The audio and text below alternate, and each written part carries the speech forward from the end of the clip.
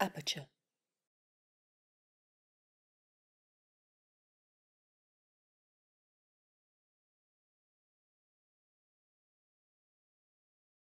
Hello, thank you all for joining us tonight. Uh, my name is Michael Famighetti. I'm the editor of Aperture Magazine. For those of you who are not familiar with Aperture, we were founded in 1952 by a group of artists, writers, and curators as common ground for photography. Aperture today is a multi-platform publisher that unites the photography community in print, in person, and online. Tonight's program is the second event in our series celebrating the Utopia issue of the magazine. In this issue, photographers and writers envision a world without prisons, document visionary architecture, honor queer space and creativity, and dream of liberty through spiritual self-expression. They show us that utopia is not necessarily a far-fetched scheme, but rather a way of reconsidering the everyday. One of the key features in the issue is uh, an interview with the filmmaker Matt Wolf, who we're very pleased to have here tonight. For more than a decade, Wolf has won acclaim for his meticulously crafted documentaries that reveal lost histories through deep dives into media archives. His focus is often on radical outsiders whose projects range from the quixotic to the paranoid. His first film, Wild Combination, a portrait of Arthur Russler, Russell, is an exploration of the life and work of an avant-garde cellist and disco producer while Recorder, the Marion Stokes Project examines the fascinating obsession of its subject, who recorded live television news continuously from 1979 until her death in 2012. Wolf's latest film, Spaceship, Spaceship Earth, traces the activities of a counterculture collective known as the Synergists from the 1969 founding of a sustainable ranch in New Mexico through the 1991 launch of Biosphere 2, a staggeringly ambitious attempt to pave the way for human life on Mars and to learn about how to live more sustainably on Earth by building a completely self enclosed ecosystem inside a glass pyramid in the Arizona desert. Tonight, Matt will discuss Spaceship Earth with Eva Díaz, a writer and art critic living in Rockaway Beach. Her writing has appeared in many magazines and journals such as Aperture, um, where we're happy to have Eva as a regular contributor, Artforum, Art in America, Frieze, and many others. She's the author of the book, The Experimenters, Chance and Design at Black Mountain College, and recently completed a new book titled After Spaceship Earth. The book takes up artists' challenges to a privatized and highly surveilled future in outer space and how the space race and colonization can be reformulated as powerful means to readdress economic, gender, and racial inequality, as well as ecological injustices. I'm very excited to have Matt and Eva here for what I'm sure will be a fascinating conversation. Aperture is a not-for-profit publication, and I just want to shout out to our sponsors. Um, the programming for this issue is presented in partnership with London-based fashion brand JW Anderson and significant support of the magazine is provided by the Kanakia Foundation and by Jon Stryker and Slobodan Randjelović. Further generous support is provided in part by the New York City Department of Cultural Affairs and the New York State Council on the Arts. And the easiest way that you can help support Aperture is to subscribe to the magazine, and you can find a special offer in um, the chat. There'll be a discount code, or you can buy an individual copy of the Utopia issue. Um, we will be taking Q uh, questions and there is a Q&A box um, at the bottom of your screen. So if you have any questions, please post them in there and we will get to them at the end of the talk. Um, so now I will turn it over to you, Eva. Thank you. Thank you, Michael, for your introduction. And I want to welcome you, our audience, and especially our guest, Matt Wolf, to tonight's discussion.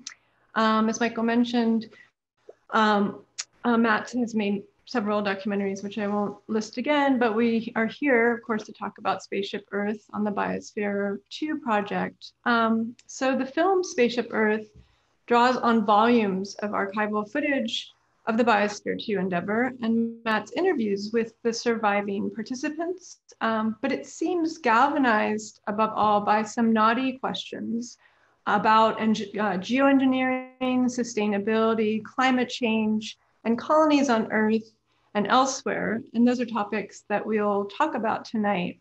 But before we jump into those, Matt, can you describe the origin of the project and why you wanted to make this documentary?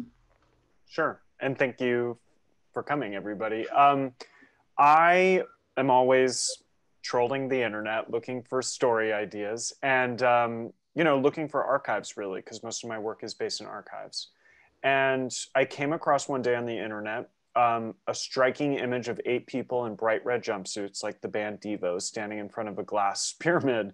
And I genuinely thought it was a cool still from a science fiction film but quickly realized that it was real, that these were eight biospherians who lived inside this kind of emerald city uh, in the Arizona desert called Biosphere 2. And, and as soon as I recognized that many of these people were alive and hadn't told their story, I was very determined to gain access. So, um, you know, fast forward a few months, I'm at Synergia Ranch, which is the, the commune of the countercultural group that gave genesis to this project. And um, you know, I was brought into this temperature controlled closet that had hundreds of 16 millimeter films and analog videotapes and thousands of images. And, you know, I like almost screamed, it's kind of a filmmaker's dream. The story that to me felt very prescient because of, you know, the ecological catastrophe that we're contending with and this kind of futurist project that um, was grappling with that.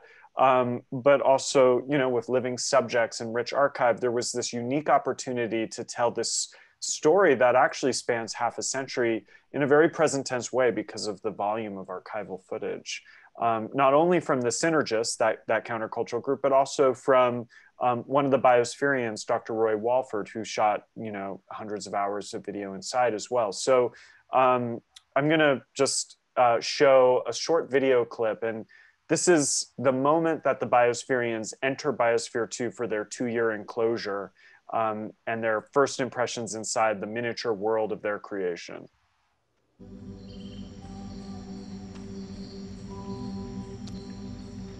I went into the wilderness area, which is the area that I was managing. And I rained, I turned the rain on.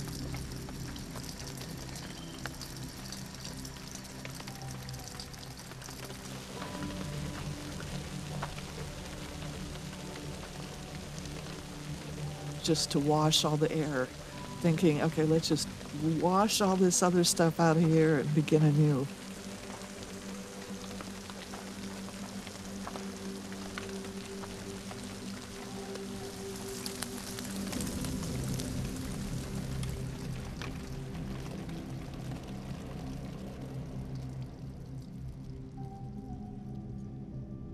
The reality that it was just the eight of us in this amazing new world started to hit.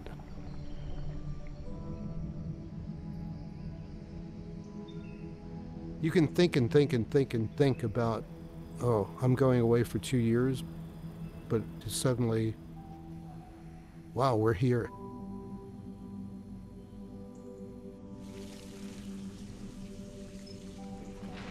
You know, we were pioneers. We were the first biospherians there was also this pride. Hey, you've given us a new world to, you know, figure out how to live in, and we're going to grow up with this thing. We're going to take care of it.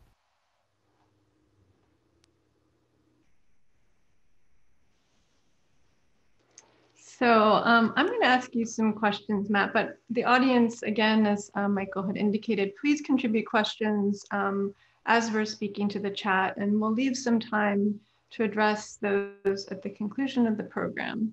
So um, as you'd mentioned, and some of the images, you'll show a couple images, um, photographs um, in a minute, but um, those images really show how the timeline of your film begins in the 1960s counterculture. And I'm particularly interested in its relationship to technology, which is an extremely fraught one on the one hand, you have this kind of anti-urban hippie idealization of non-Western cultures, which at the time was really souped up with um, what's called appropriate tools like permaculture, geodesic domes, modern septic systems, and many people, um, you know, associated that most, most propagated most famously by Stewart Brand, who founded the Whole Earth Catalog. And so, like Brand, these synergists, um, and John Allen was the charismatic leader of this group, and they became the Biospherians. They also wanted to yoke this, this kind of paradoxical vision of technology um, that's kind of become familiar to us from like the Silicon Valley rhetoric of like self actualization and profit being like a social benefit. so, how did the Biospherians navigate these contradictions like of nature, technology, profit? Um, it really seems like they struggled in the film to reconcile this, you know, the 60s into the 90s, I guess, moment. Yeah, and I, I, think I, I am really fascinated by that history that you just so eloquently sketched out. And, you know, Fred Turner's book, From Counterculture to Cyberculture, was a big um, touchstone for me while making the film. And you know, the the kind of prevailing narrative of Biosphere 2 is around it being this kind of spectacular failure as a scientific experiment. But to me, I saw a much kind of more epic cultural history that begins in the 60s and um, in, in, a sense shows how um, you know uh, the, the the synergists in fact had a different model of the Back to the Land movement because they identified themselves explicitly as capitalists. Um, they wanted to do projects that were both ecologically and economically sustainable. And um, they ended up traveling around the world on a concrete ship that they built and began all of these projects uh, in all of the you know so-called biomes around the world whether it was a hotel in kathmandu or a rainforest in puerto rico or um, you know, an art space in Fort Worth, Texas. Uh, so they were gathering, taking on the world piece by piece and gathering that knowledge, and it all synthesized into this project of Biosphere 2. Um, and it was all backed, ironically, by a Texas oil scion named Ed Bass, who was a kind of angel investor for them, um, who, to his benefit, was incredibly you know, not he was not risk adverse, and they conceived of Biosphere 2, which ended up being this $200 million project, as a pilot for Mars colonization. Um, but also, as, as um, Michael said, or, or you said, it also was, in some senses, a, a kind of spectacular demonstration of sustainable living on Earth. Um, so there was this aspiration for Biosphere 2 to, in, in fact, be a 100 year experiment in which they would continue to evolve this system they had created um, until um, we were ready for Mars colonization. It's, it's just a wild kind of futurist premise, but of course, um, you know, Biosphere 2 became, um, you know, quite a controversy in the mainstream media and, and quite a spectacle, um, and largely because of the mismanagement of the representation of the project by its founders, but also, um, you know, um, when you get bigger is that capitalist ethos bigger is better is not always the best for this group. So in a lot of ways um, and we can unpack that further this is a cautionary tale about um, you know big business and environmental idealism not being the best bedfellows. And and in some ways the failures of 60s idealism when they integrated with the aspirations of dot-com culture from the 90s yeah, one of the things that um, strikes me about, about the figures in this project and this is kind of continuing this Silicon Valley rhetoric, is their unabashed vision of themselves as world builders. And it seems to me that a problem of this, I guess you could call it like the autogenetic notion of humans authoring nature in this case, is that we can geoengineer the earth to our needs.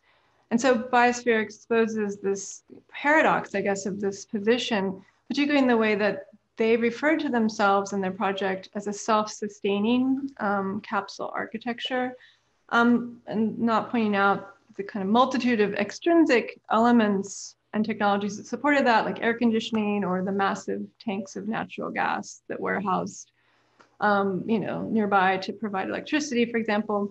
So, but your film follows these participants into their contemporary lives, where they sometimes are articulating their discomfort with the godlike attitudes of their, perhaps not their youth, but of the project's beginnings. So, what was the most surprising conclusion you came to about this 50 year arc of Biosphere 2, beginning in the 60s and, and meeting these people, talking to them, and putting out the film in 2020? Yeah, I mean, to, to that point, I don't think the biospherians necessarily um, identified what they were doing as an Eden type project with godlike powers. I, I tried to foreground that kind of biblical metaphor in terms of the filmmaking as well. Uh, with you know my editor David Teague found a shot of a snake crawling around on the ground and and the biospherian Linda Leigh peeking through leaves like a, a like a Latter Day Eve. But um, you know that that's you know something I tried to bring out in the filmmaking was particularly to depict John Allen, the kind of gregarious countercultural figure, as as a kind of godlike um, persona who, you know, um, as a as a theater maker too, tried to, you know, um, stage this theatrical narrative that spiraled out of his control. And I think in, in some ways that's a that's a critique of of the the kind of patriarchal countercultural figure of, of that generation um, and the male genius behind epic projects like this. But I do think um, there was less of a, a, heady interpretation of what they were doing. I think it was um, a group of people who were not only artists, but adventurers and were up to experimenting on terms that were beyond science, even though they were engaged in, in rigorous scientific observation and measurement and experimentation. I think they were people who were interested in engaging in a human experiment. And, and even more broadly, I think the group of synergists who conceived of Biosphere 2, in a sense, have been engaged in a lifetime experiment together.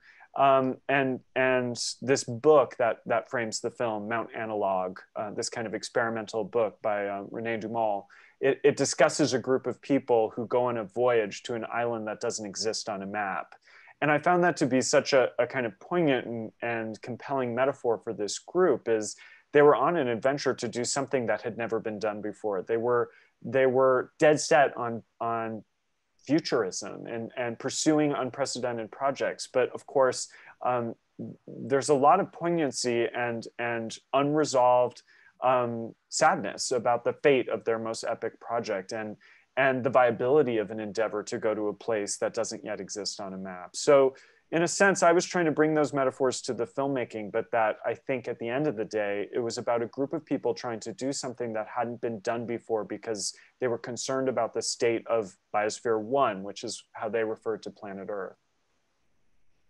Um, the synergists took their name um, and a lot of the influence um, of their thinking from Buckminster Fuller, and synergy is actually a word that he coined, um, which very simply put is the great, the whole greater than the parts. Synergetics is a complicated um, topic. Um, also, your film takes um, Buckminster Fuller's metaphor of Spaceship Earth as its title, and I know that they um, read his operating manual for Spaceship Earth, which is also shown in the film.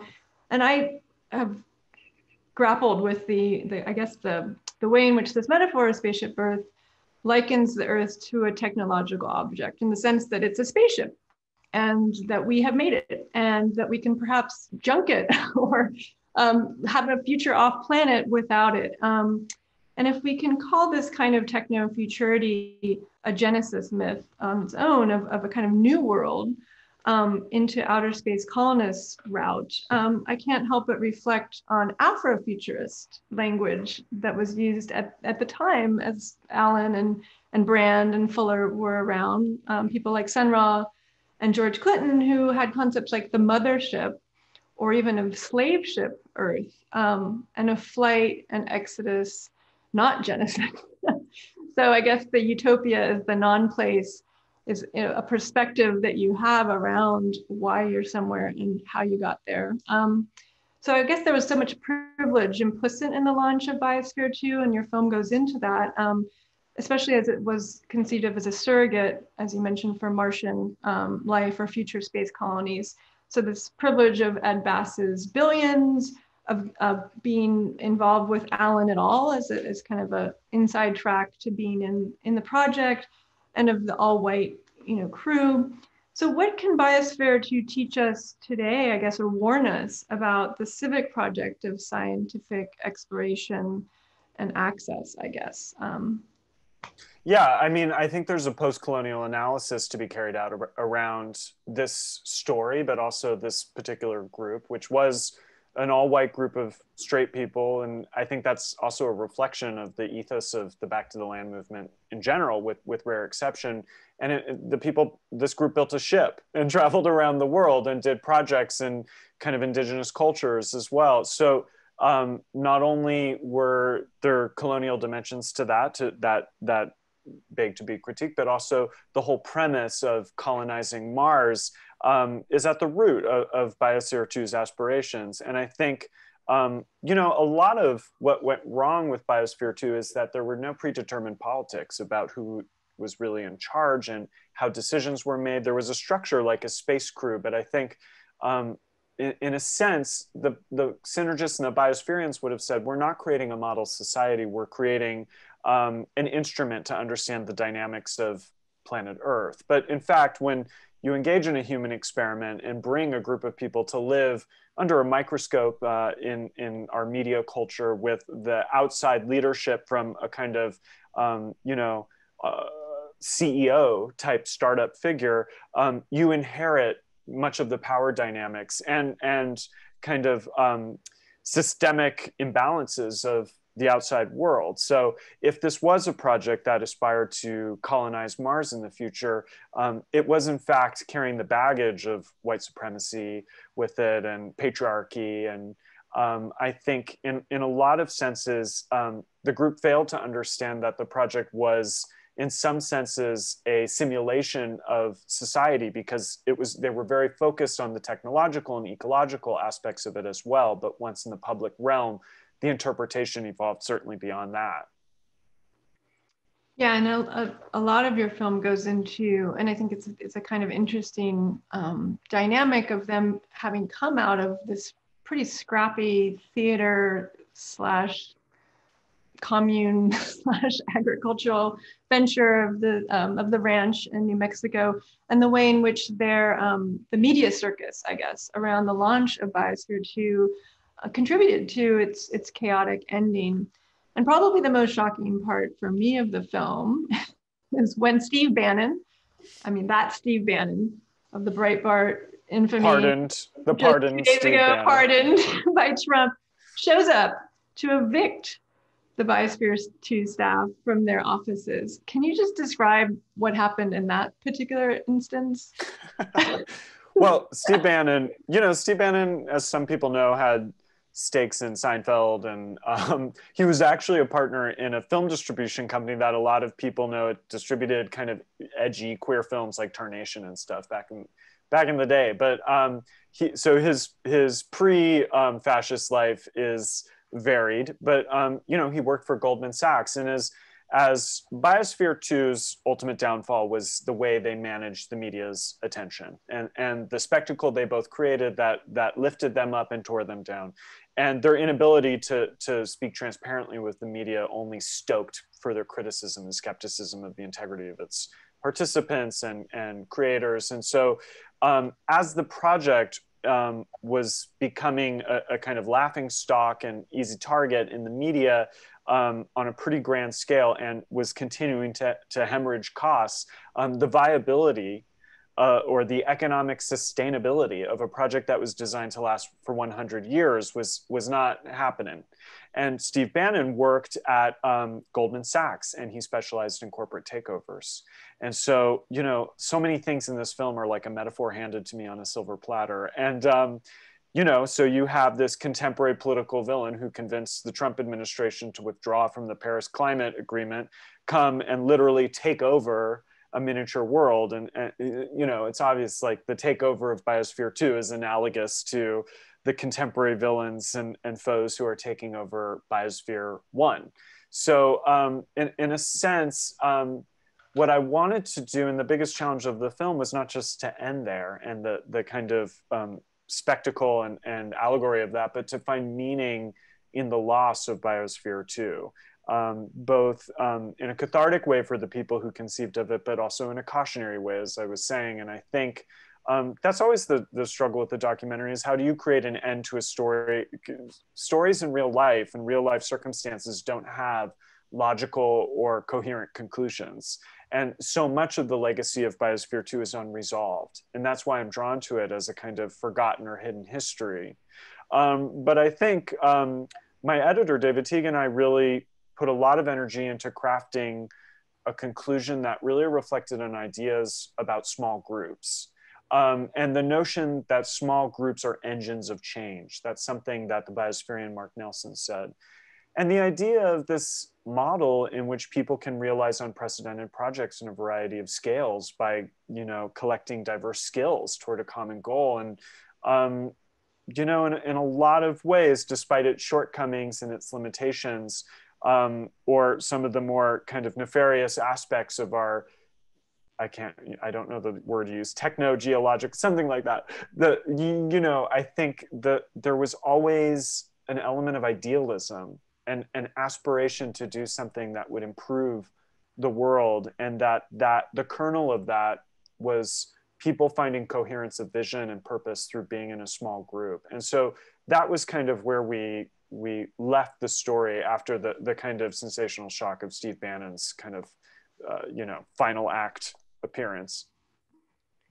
Um, can you talk a little bit more about the theatrical? Um, because some of the images that you showed here and that appear in the film are just pretty wild in terms of the kinds of work that they were doing and also the way, um, and, and you talk about these kind of premonitions or these omens of, of their own downfall. They've staged a play before they entered that was about the catastrophe that might happen.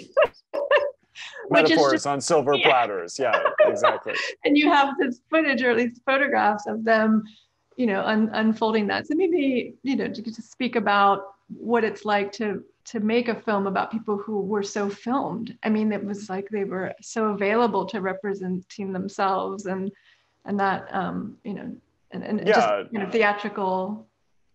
I mean, and the, the title Spaceship Earth is also a nod to Epcot's amusement park ride, Spaceship Earth, and the theatricality of that, that kind of, um, you know, uh, amusement park ride about the future and um, with corporate sponsorship. But um, I think that, you know, I make a lot of films about artists, but oftentimes those subjects don't necessarily uh, literally make art. They aren't art makers. So, for instance, I made a film called Recorder about a woman named Marion Stokes who recorded television 24 hours a day for 30 years. And I, in some ways, I thought of her as an artist, somebody who, as you said, was world building, um, who created a project on unique and individualized terms that weren't necessarily accessible or coherent from the outside. Um, and that had strict kind of parameters and rules um, with an outcome.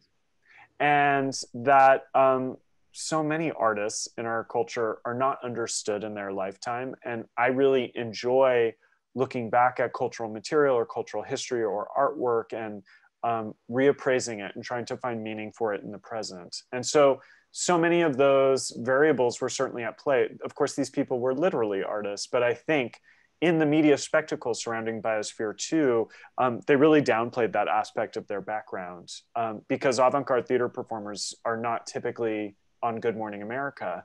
But when you see them on, you know, the Today Show, um, you know, Katie Couric makes fun of the the kind of Star Trek-like costumes that they're wearing. So there was always this tension between their experimental origins and the theatricality that was just intrinsic to their vision of the world, and the desire to be understood and recognized as rigorous scientists and environmentalists and um, to be doing a project that had real business acumen. So those things were at odds with each other, but I think the fundamental ethos of the group is that like many other artists, they were world builders who um, created parameters for their own projects that were unprecedented um, and that you know from this point of view before i made the film it didn't all necessarily add up and fit together. And a lot of my work as a filmmaker is to act as a translator, to find a coherence of vision and continuity across all the varied things they did over half a century, and to show how Biosphere 2 is the synthesis of that inquiry and that knowledge, um, but also to interpret why Biosphere 2 was not appreciated or understood in its time for its on, on its own terms. So I want to remind the audience um, that you can put questions into the Q&A. Um, I see one now. I'm going to ask one final question myself, and then um, we'll, we'll get to those questions. Um, and that is, you know, this is a question that I was asked a lot having finished a book, published a book about Black Mountain College. Um, you've kind of answered the why did it end question, which is why people, you know, it was so great, why did it end? Um, but then also what what do you see today is the question that I get a lot. And I guess as having concluded this project, you know, are there sort of tendrils of that that you um, have have kind of reflected on, I suppose, after this experience of producing the documentary around, um, you know, not that there could ever be something as exceptional as Biosphere 2 in terms of its scope um, and eccentricities, but um, but maybe just directions in your research that you found yourself moving toward that are related topics. I mean, it's all just fundamental to our shared experience right now. It's obviously when I made this film, I could not have anticipated that this story is a dress rehearsal for our contemporary experience in quarantine. So I had to reframe my entire um, understanding and conversation around this film around the pandemic and the quarantine. I mean, the film came out in May at the beginning of the quarantine, and the entire meaning and significance and timeliness of the film shifted. It's not something you could expect, but in a lot of ways it was organic to frame the conversation around that or, or to use that as a jumping off point because it was a shared experience.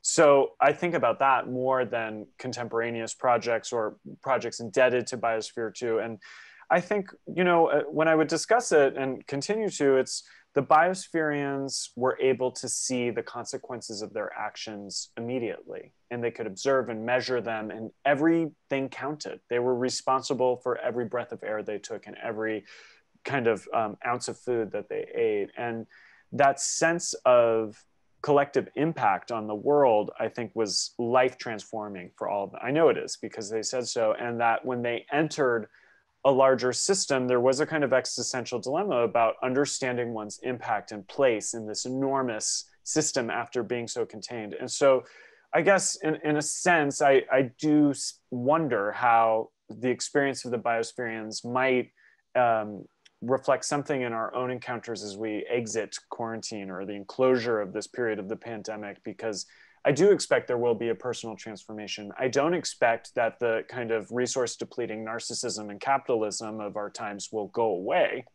Um, but I wonder if people will be able to model more, more sustainable forms of living, if people through deprivation will um, be satisfied operating in smaller communities and in smaller peer groups or alternative models of family um, and I wonder if people will have a heightened sense of their impact around people and their, the consequences of their actions and how they affect others.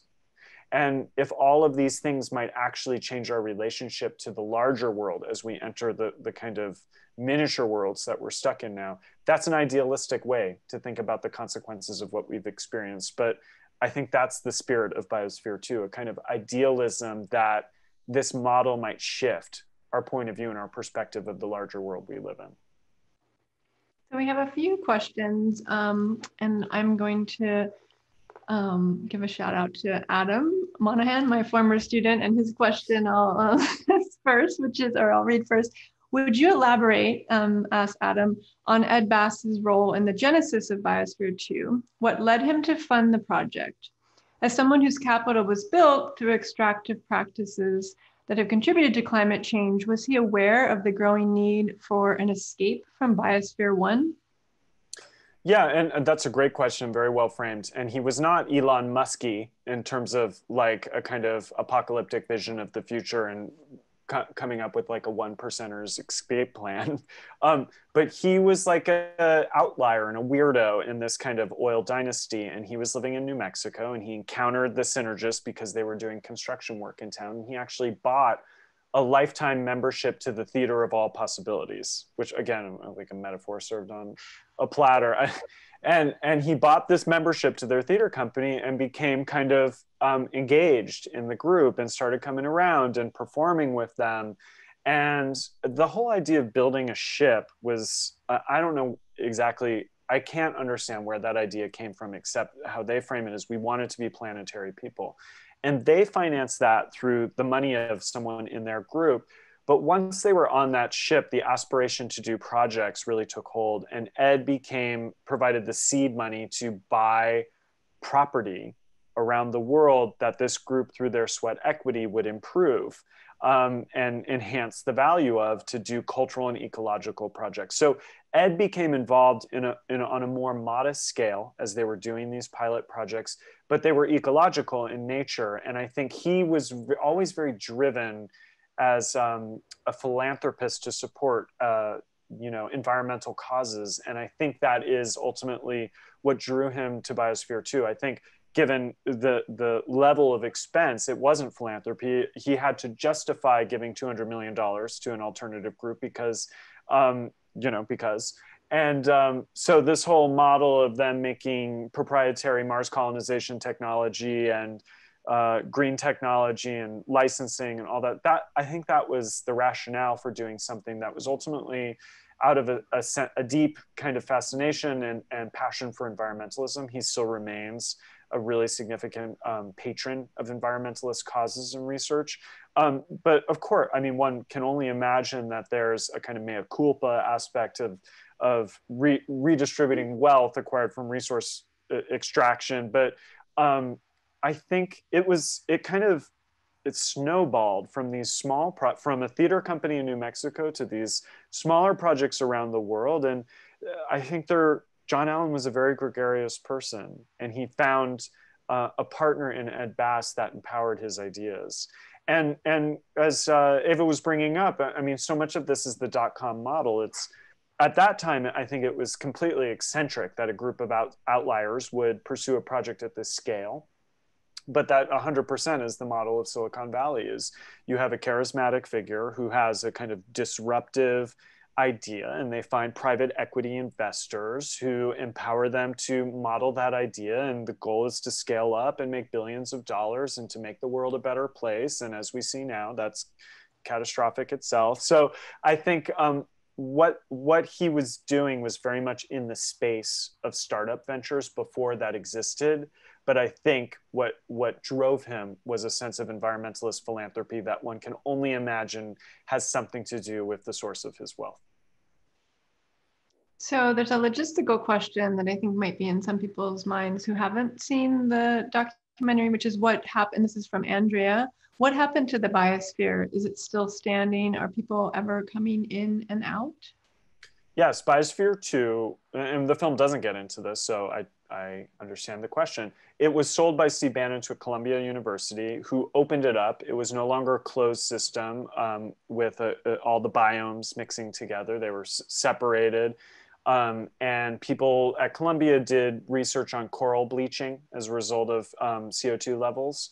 Um, but it was open to the public. They could go inside, and then Columbia was kind of done with it, and the University of Arizona owns it, and they do kind of they did a recent experiment uh, in the rainforest biome uh, subjecting it to high temperatures to understand rainforest um, resilience in, in climate change as far as i understand. And you can go there and go on a tour. Right now you can even go on a driving a kind of drive through tour. But i mean the to me the ultimate failure of biosphere 2 is not the kind of aspirations of the project but that this instrument was designed with so much intention to be this you know hermetically sealed structure and, and and it's not being used for that. And people have found value in it but it's not being used for what it was designed for. So, and and there's something kind of poignant about it when you visit it but um, you cannot deny the the kind of um, emerald city like spectacle of of climbing this mountain in the middle of nowhere and then seeing this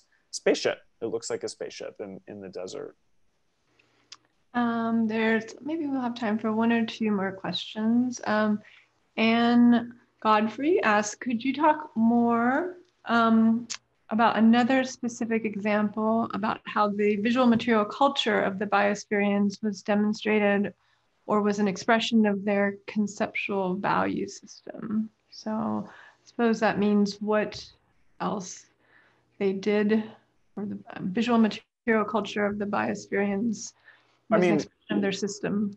The I, I think the archival material is extraordinary for this film, and you know, and I go into a lot of archives because it um, is subjective. It's from the point of view of its authors and of the subjects of my film, um, but it's cinematic in that it's often filmed from multiple angles, sometimes with cranes. You know, when their boat takes off, there's someone. It's it's and there's intention behind the documentation of it. Um, and then once we go inside the biosphere two, um, the the footage is like data. It, it has a video art aesthetic to it, but all of what they were doing was observing, and not all of what they were doing, but a, a huge focus of their day to day life was observation and collecting data to understand the, the, the kind of the dynamic atmospheric dynamics of their system. So what Roy Walford was doing was collecting a kind of data in his video diary that that I think more than anything documented the human experiment aspect of the project as well. So I think um, you know the video art stuff inside. When I first saw it, I was concerned that it was too boring.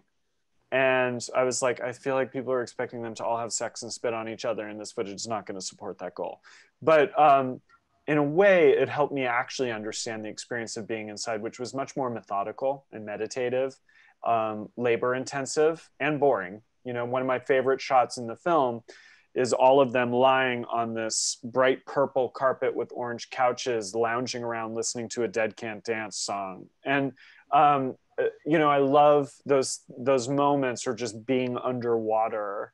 Um, you know, filming people uh, hitting the glass as they're as someone's tending to the coral reef or in in the 16 millimeter footage my favorite shot is um, travelogue footage of the group running up a staircase that goes to nowhere i think they were uh, they were in maybe aztec ruins I, I don't even know exactly where it was from but it was an amazing metaphor of them just running on a staircase that doesn't go anywhere. So um, I don't think necessarily that the way they documented themselves was aesthetically intentional to reflect their value system, but it it was rich in a rare and maybe once in a lifetime way for me because there was so much metaphorical value in the style of filmmaking that they engaged in and it provided so many opportunities for us to craft a story in which you know what I've come to recognize in this film is filmmakers get how wild the archival is but viewers I think are able to take it for granted and forget how wild it is that this is all documented and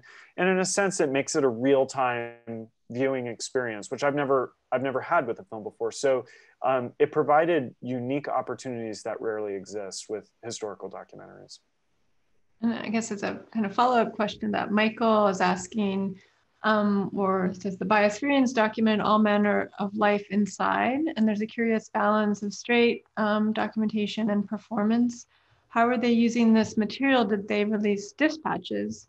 And um, was this a proto form of reality TV? Well, it certainly was a proto form of reality TV because it stoked the kind of voyeuristic tendencies of, of audiences. In fact, when Biosphere 2, um, when, when MTV launched The Real World, the New York Times headline said MTV's answer to Biosphere 2. And, and obviously um, Big Brother, but also Survivor. There's so many reality TV staples that feel explicitly connected to Biosphere 2. Um, but um, I think they would do satellite uplinks in which there were cameras inside, but it was mostly like interview footage of them speaking to people on the outside, or they had the ability to do press interviews inside. Um, but there were no confessional booths like we would see on the real world. I think I think there was a certain naivete that they were just going to do their idiosyncratic scientific experiment and tend to their kind of technological garden for a hundred years. Um, and that they they weren't aware how much people would want to know about what they're doing inside and who they are. And once people and when and when there was resistance to revealing that more explicitly that's when people really started to turn on the, the project and to question the integrity of a group of people who weren't disclosing that. In fact they were artists. So it, it really i think is the beginning in which people began to expect complete transparency and oversharing. Um, in the 90s the the expectation that everybody in the public sphere would overshare their lives was more nascent. And now it's just, um, it's expected that anyone in the public sphere will overshare. And so I think in, in some ways, I hadn't thought of it before, but in some ways, the film is a reflection of that shift in our cultural values. Uh, I think we'll do one more question from Susanna Ray. Um, can you both elaborate on the cultural construct of utopianism, Um, is it an impulse to better the larger universe or an escapist maneuver designed to only better one's immediate circumstances? Um, I mean, my relationship to utopianism is more about idealism. Um, and I, I just never identified as an idealist, but the more films I make, the more I'm realizing that there is a strain of idealism in the work that I do in the projects that I pursue. But also, I always recognize um, the dysfunction within idealistic or visionary endeavors. And so when I think about utopianism or utopic impulses, I think there's um, they're driven by an explicit idealism that is inherently dysfunctional. Um, that sometimes can be toxic or abusive, or sometimes just might not be sustainable. So to me, it's not about escapism or um, modeling intentional community. It's about trying to do something that hasn't been done before. I really think we need to hold that kernel in our culture for people to try things that haven't been done before and to have the ability to accept those projects for their limitations and to recognize and reflect on them with both um, a certain kind of reverence but also ambivalence and at the end of the day that's my relationship to biosphere 2 it's an ambivalent relationship one of super deep respect and admiration for both the people i encountered while making the film but also the aspirations of the project but also a recognition of the limitations of it its failures and and I think we need to lean into that kind of ambivalence. So when I think of utopia, um, I have an ambivalent relationship to it. And I think anybody who's thinking crit- critically might want to think ambivalently about that word. Yeah, it's something that I think, um, I mean, Fredric Jameson wrote about utopianism is not so much defending this no place or the good place, but to think about the ways in which anti utopianism is such a virulent aspect of, of conservative ideology in which mm-hmm. controlling the future you know and limiting you know that that vision of, of betterment you know empowerment um, becomes the end game so it's not so much about defending utopia as to seeing how the figures that oppose it move in the world as agents of, of kind of you know constructing limits around our better futures so in that sense we all should be utopians. well, and risk risk, aver- risk aversion is incredibly conservative. I think people have to take risks. They have to try things that haven't been done before. And when you take risks, it doesn't always work. But I think you're right. It's you the the people's cynicism or skepticism of people trying things that are highly idealistic, the kind of snarkiness that often um, I think um, pervades people's perception of utopic aspiration is conservative. And I, I, I, really think we have to be open to idealists and, and to, to check our snarkiness. And, and utopia is a place in which people are allowed to, to be naive in that sense. Well, I think that's a perfect place to leave. I don't know if Michael, you want to have yeah, no, final words checking our snarkiness is a great. yeah, Down one, one question that I'm sure um, some people in the audience uh, may have is um, for those who haven't seen the film, where where can they watch the film? Well, um, it's streaming on Hulu. Um, if you have that, or you can rent it from iTunes or Amazon or YouTube, any place you can rent it, you can you can rent it. It's not av- it's available in territories around the world, but not the entire world. I'm not quite sure where, but I like this website called um, justwatch.com. And you can search for titles and select what territory or region you live in. It will tell you the best place to watch it. So if there's people from around the world, that's my hot tip. Justwatch.com. Okay, thank you. It's, it's useful to find anything, you know, yeah, where, where you can rent it. Um, and I also want to point um, people to your fantastic new film, um, a short film called Another Hayride that was made in quarantine and that can be viewed on the New York Times.com um, as an op doc. Um, it's fantastic. And um, Matt is making me feel very unproductive during my quarantine. I made a film. Well, you're making a magazine. It's not, you know, not to be discounted. Thank you. Um, thank you both so much for that fascinating conversation. Thank you, Matt. Thank you, Eva. Um, and thank you to our audience for tuning in. Um, and we will have um, additional programming connected to the Utopia issue of the magazine. So if you go to aperture.org, um, you can see what we have coming up. So thank you all again and good night. Thank, thank you. you.